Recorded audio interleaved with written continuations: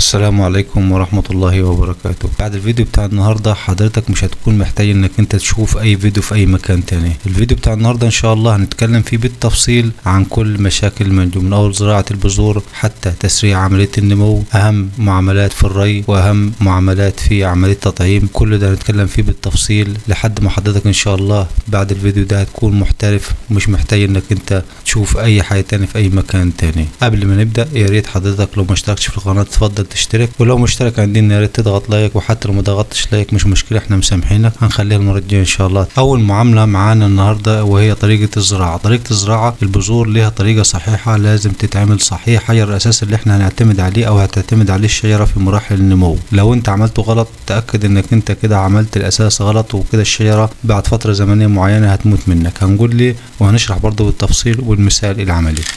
اولا لازم لما نيجي نزرع البذور البذور زي ما حضراتكم شايفين كده بالظبط فيها تجويف من الداخل وطالع فيها برعم صغير هتلاقي أغلبية البذور اللي أنت هتطلعها فيها برعم من الداخل زي ما حضراتكم شايفين. ده التجويف الداخلي اللي أنا بشاور عليه بصباعي ده ده اللي هو يتحط في التربة من الداخل. لو زرعناها بأي شكل تاني من الأشكال هي ممكن تطلع مفيش مشكلة فيها وهتكبر وهيفضل النمو وممكن توصل لسنتين وثلاث سنين وأربع سنين بس هتيجي في الآخر هتتوقف عن النمو وهتموت. هقول لك أنا برضو ليه وهقول لك المشاكل دي كلها ليه؟ يبقى خلاص إحنا عرفنا كده أول حاجة طريقة الزراعة التجويف يكون للداخل. طبعا لو حطيتها كده غلط تمام زي ما حضراتكم شايفين لو حطيتها كده برضو لو حطيتها كده غلط برضو أنا ماشي معاك خطوة خطوة. ولو حطيتها برضو كده برضو حتى برضو لو حطيتها على جنبها برضو غلط أي شكل كله الأشكال غلط. هي هتطلع وهتنبت معاك مفيش مشكلة فيها خالص. بس أقول لك هي هتعمل مشكلة كبيرة جدا. هقولها لك دلوقتي يبقى كده الطريقة الصحيحة اللي إحنا عملناها دلوقتي. زي ما حضراتكم شايفين البرعم هيكون شكله نازل في التربة من أسفل ونغطيها كده في التربة زي ما حضراتكم شايفين. بس وندريها بس حاجة بسيطة وخلاص كده نغطي عليها والموضوع انتهى. دي أول طريقة في الزراعة دي الطريقة الصحيحة اللي أنت لازم تتبعها. بعد ما خلصنا عملية الزراعة هنجيب كيس بلاستيك ونغطيها علشان نوفر لها الرطوبة ونوفر لها الحرارة كويس عشان خاطر تنمو بسرعة. بس هنا الكيس طبعا مش هنخليه مقفول خالص الكيس هنعمل فيه فتحة بسيطة علشان ندخل هواء وندخل أكسجين للبذور عشان تنبت بسرعة. زي ما إحنا شايفين دي المشكلة الخطيرة اللي هي بتنتج عن الزراعة الغلط. زي ما حضراتكم شايفين دي اسمه مرض السكسفونيا أو بنقول عليه رقبة الوزة. زي ما حضراتكم شايفين طبعا الالتواء ده طبعا مع فترة زمنية معينة طبعا هتلتف وطبعا هتمنع وصول المياه ووصول الغذاء لأعلى الشجرة وهتتوقف عن النمو وهتموت في النهاية. طبعا ده أخطر مرض حتى لو حضرتك مش هتزرع البذور حضرتك حتى لو راح تشتري شتلة لازم تشتري شتلة ما يكونش فيها الالتواء ده طبعا فوق سطح التربة طبعا ده مرض خطير وعلى فكرة ملهوش أي علاج. علشان كده يا صديقي أنا بحب أهتم معاك بالتفاصيل علشان خاطر أنت ما تخطأش حتى في الزراعة حتى لما تروح تشتري شتلة. أنا بحب ادقق عليك كويس عشان خاطر تبقى أنت محترف وتبقى أنت عارف الصح وعارف الغلط. دي يا صديقي شكل الشتلة الصحيحة المزروعة بطريقة صحيحة. حتى أنت لو هتشتريها من مشتل لازم تكون واقفة في خط مستقيم زي ما حضرتك كده شايف بالظبط. أنا مش عايزك ترمي فلوسك على الأرض مش عايزك تضيع مجهودك وتضيع تعبك على الفاضي. عرفنا الشتلة الصحيحة من الشتلة الخطأ وعرفنا طريقة الزراعة الصحيحة إزاي. الموضوع المهم اللي الناس كلها كلمتنا عنه في التعليقات وهو طبعا بعد زراعة الشتلات بعد شهر أو اتنين أو تلات شهور الشتلة بتبتدي تموت. طبعا دي السبب الرئيسي فيها الري الزيادة. الري الزيادة طبعا بيخلي الشعرات الجذرية تتوقف عن النمو أو عن البحث عن المياه وبالتالي يتوقف نمو الجذور وبالتالي الشجرة في الآخر بتموت بعد تلات أربع شهور. يبقى إحنا لازم إن إحنا نخف الري على الآخر في المراحل الأولانية حتى جفاف التربة حتى لو كانت التربة الشكل الظاهر بتاعها من أعلى إن هي جافة برضه ممكن تكون من تحت فيها نسبة رطوبة فعشان كده إن إحنا مش هنرويها غير لما نتأكد إن التربة جفت تماما. هنتكلم هنا في عملية تسريع نمو أشجار المانجو طبعا لو عندك شجرة مانجو طالع فرع واحد بس هن طبعا إحنا هنقص القمة النامية زي ما حضراتكم كده شايفين بالظبط. أنا بشرح لك هنا نظري وهوريك الشكل العملي. طبعا لو فرع واحد بس هنقص القمة النامية زي ما حضراتكم شايفين. هيطلع تلات أو أربع أو ممكن يوصل لخمس كمان أفرع وتبتدي تفرع.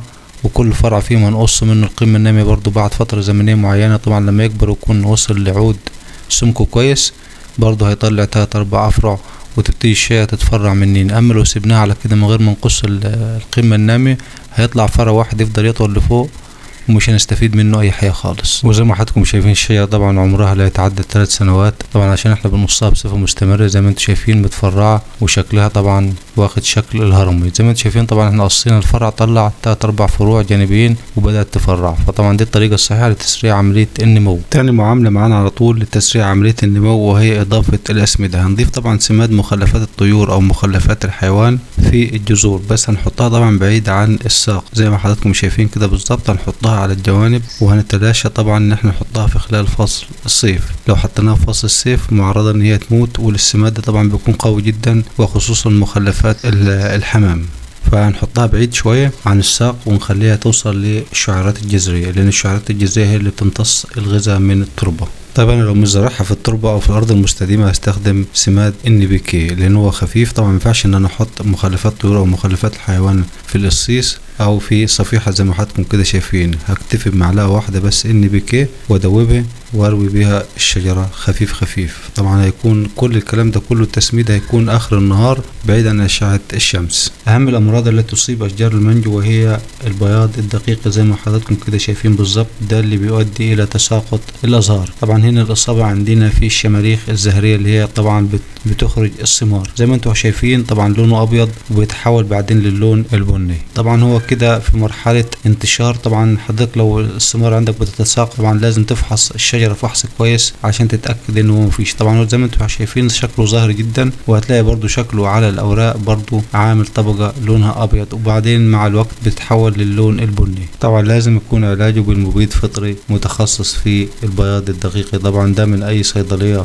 زراعية هنجيب مبيد فطري طبعا خاص بالبياض الدقيق. ولازم إن إحنا نرشه قبل ميعاد الإزهار. لازم قبل ميعاد الإزهار في أشجار المانجو. لو رشينا بعد الإزهار هيبقى النتيجة طبعا غير مؤثرة النتيجة غير مرضية ولازم الرش يتكرر بشكل مستمر من 7 إلى 14 يوم. آخر معاملة معانا وهي مرحلة التطعيم. هنتكلم بالتفصيل وهنشرحها بالتفصيل عشان خاطر ناس كتير برضو سألتنا عليها ومعرفتش أوضح الكلام ده كله في التعليقات فأنا هشرحها عملي. مبدئيا لازم نختار قلم التطعيم يكون نفس سمك الشجرة اللي إحنا هنطعم عليها. ما ينفعش إن إحنا نجيب قلم تطعيم يكون سمكه أكبر من الشجرة اللي إحنا نطعم عليها. زي ما حضراتكم شايفين كده بالظبط إحنا خدنا قلم تطعيم نفس السمك وهناخدوه من شجر مثمرة. ليه شجر مثمرة؟ عشان خاطر نضمن إن هو هيثمر مبكر على طول إن شاء الله. لو خدناه من شجرة غير مثمرة يبقى إحنا كده ما عملناش أي حاجة. طبعا الغرض من التطعيم هو طبعا تغيير الصنف. طبعا أنا هزرع سكري زي ما إحنا اتفقنا في الفيديو بتاع زراعة المانجو بالتفصيل. هزرع مانجا سكري وهضطر إن أنا طبعا أطعم عليها أي صنف أنا